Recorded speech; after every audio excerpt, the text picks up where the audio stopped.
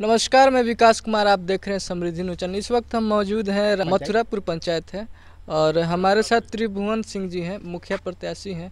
आइए हम इनसे सारी बात जानेंगे कि अप, अपने पंचायत से चुनाव लड़ रहे हैं तो इनका क्या सोच है और अपने जनता के लिए क्या सोच कर रखे हैं। आइए हम सारी बात जानते हैं। अ, सर बोलिए। स्वागत है। क्या बताना चाहेंगे आप? बताना यही चाहेंगे कि मथुरापुर पंचायत के हम निवासी हैं। जी। और पंचायत चुनाव आ गया है जिसमें हम प्रत्याशी हैं। जी। दुख के साथ ये कहना पड़ रहा है कि सरकारी जो सिस्टम है वो बहुत त्रुटि कर रहा है। हमारे वोटर लिस्ट में हमारे पंचायत के में 400 करीब 400 पंचायत दौलतपुर पंचायत के लोगों का नाम अंकित किया गया है जिसका हम चुनाव वीडियो से लेकर चुनाव आयोग के आयुक्त तक किए हैं। और उस पर कार्रवाई अभी तक कुछ हुआ नहीं है।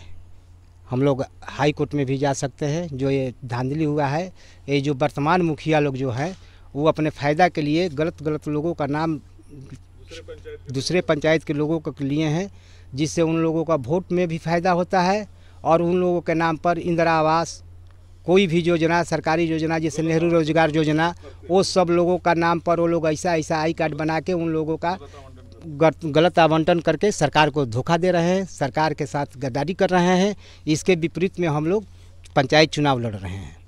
तो सर कौन कौन से पंचायत है जिनमें आपको लग रहा है कि इसका भी नाम है और हमारे पंचायत में भी नाम है सर?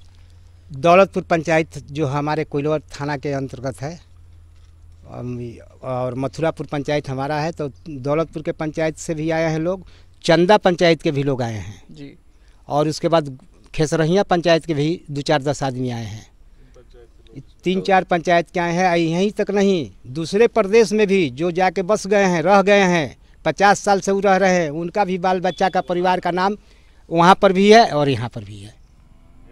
तो आप साफ़ तौर साफ़ तौर पे सुन सकते हैं कि बहुत सारी गड़बड़ियाँ हैं। इतने सारे व्यवस्था होने के बाद, सरकार की इतनी नज़र, पैनी नज़र होने के बाद भी ये सब गड़बड़ियाँ सामने आ रही हैं। साफ़ तौर पे इनका कहना है और ये एक तरह से सरकार को चैलेंज कर रहे हैं कि ये एक पंचायत के ना होकर तीन चार पंचायत में एक ही लोग कैसे रह सकते हैं? एक ही नाम से अब पंचायत तो पंचायत दूसरे प्रदेश से भी। सर आपने इस शिकायत को अभी तक कहाँ कहाँ पहुँचाया है? वीडियो से लेकर चुनाव आयुक्त बिहार राज्य चुनाव आयुक्त के पास किए हैं। कलेक्टर के पास भी किए हैं। उन लोगों की क्या प्रतिक्रिया भी आई है? आश्वासन हुआ और अभी तक कुछ हुआ नहीं। तो आप लोगों ने उनसे अभी बस आश्वासन पे ही आप लोग संतुष्ट हैं? नहीं संतुष्ट नहीं है। अगर नहीं होगा इस पर कोई कार्रवाई तो हम हाई कोर्ट जाएँगे। कितने दिनों से ये बात आपको मालूम है कि ये ये पं, जो भी घोटाले हैं यहाँ पे भी चल रही हैं वहाँ पे भी चल रही हैं? कितने दिनों से आपको ये मालूम है? मालूम तो है डेढ़ महीना पहले से। जी। वोटर लिस्ट का। आ घोटाला जो हो रहा है तो चुनाव हुआ उसके बाद से हम लोगों को मालूम है। जिसका कभी कभी हम लोग रिपोर्ट भी देते हैं तो उसका कोई कार्रवाई नहीं होता है कंप्रोमाइज हो जाता है।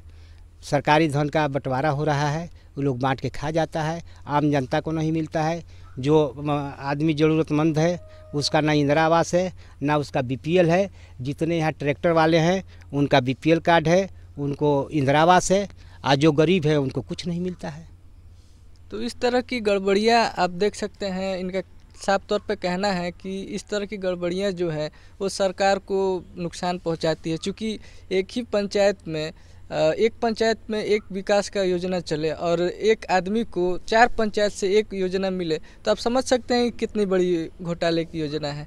चूँकि पंचायत में बहुत सारी ऐसे भी लोग हैं जिनको कोई योजना नहीं मिल पाती है और यहाँ पर ये बोल रहे हैं कि ये हमारे पंचायत में भी मिल रही है और तीन अदर्स पंचायत में भी मिल रही है, एक ही आदमी को। तो ये तो बहुत बड़ी सरकार की हमें लगता है कि ये विफलता है और प्रशासन की, जहाँ तक हम बात करें तो प्रशासन को ये देख रेख में तो हमको नहीं लगता है कि ये प्रशासन अपना ध्यान इस पर आकर्षित कर सकती है। मैं प्रशासन से सहयोग की अपेक्षा रखता हूँ कि ये सब गड़बड़ियाँ वो सुधारे और सब व्यवस्था सुचारू रूप से चलाए। मैं विकास कुमार, कैमरा पर्सन अभिषेक के साथ धन्यवाद। आप देख रहे हैं समृद्धि न्यूज़, एक नई खोज। यदि आपने हमारे चैनल को सब्सक्राइब नहीं किया तो कर दीजिए और बेल आइकन को दबाना ना भूलें, ताकि आपको हर खबर की अपडेट मिलती रहे।